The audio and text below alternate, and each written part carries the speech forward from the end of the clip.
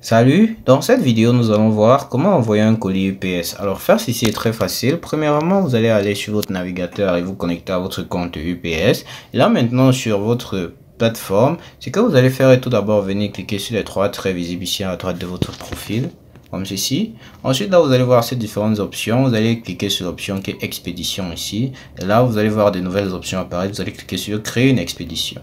Maintenant, à ce niveau, vous allez suivre normalement 5 étapes à ce, niveau pour expédier votre colis. La première étape ici serait d'informer par rapport au détail de l'expéditeur. Expédier ici depuis, vous allez mettre pays, territoire non complet de, ou de l'entreprise. Vous allez mettre nom du contact, email, téléphone, adresse de la rue et toutes les options. Vous allez faire de même pour celui à qui vous envoyez ici. Vous allez, voici maintenant le conditionnement. Vous pouvez mettre un conditionnement standard ou un, emballage UPS. Alors, pour une tarification, une sélection de services précis plus précis, fournissez les quatre mesures du, de votre colis. Alors voici votre, vous allez mettre les informations de votre colis ici.